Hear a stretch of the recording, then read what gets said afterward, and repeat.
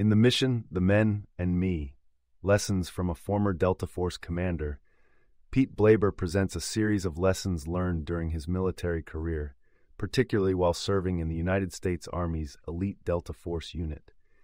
His experiences span numerous combat zones and operations, and through them, he distills the wisdom he gained into a series of guiding principles applicable not only to military operations, but also to everyday life and leadership challenges. Blaber begins by introducing readers to the importance of the three M's the mission, the men, and me, which form the central framework for his decision making process.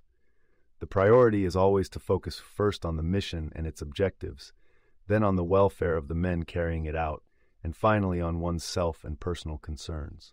This hierarchy is key to understanding the emphasis on leadership and the selflessness required in extreme situations encountered by special forces.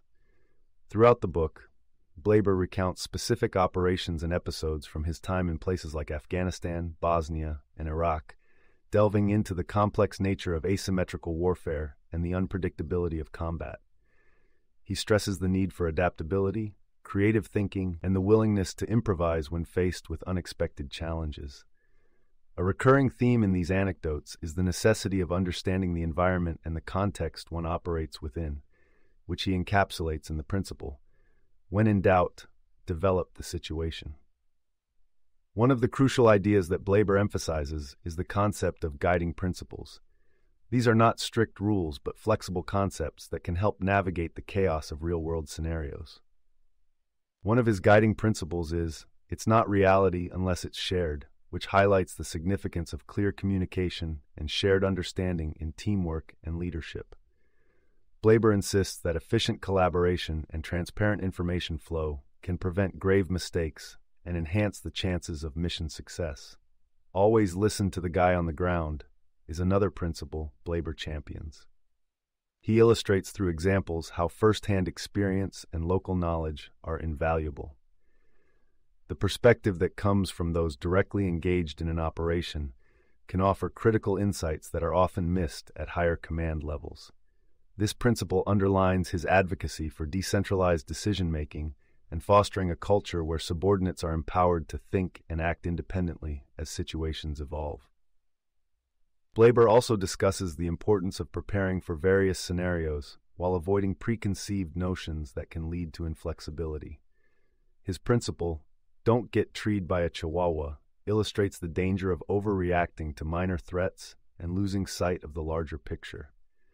He stresses the value of staying calm and maintaining perspective, which allows for effective prioritization and resource allocation amidst the fog of war. Furthermore, Blaber introduces the concept of the Big Four, which encapsulates four basic needs that must be secured to maintain focus and performance in stressful environments security, physical, mental, and emotional needs. For leaders, Paying attention to these needs within their teams is crucial in sustaining morale and efficiency.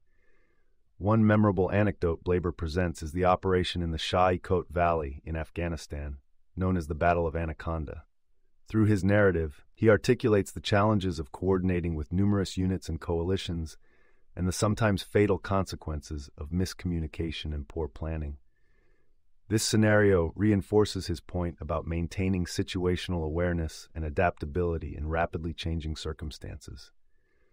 Throughout the book, Blaber doesn't shy from discussing the failures and missteps he encountered, both personal and institutional.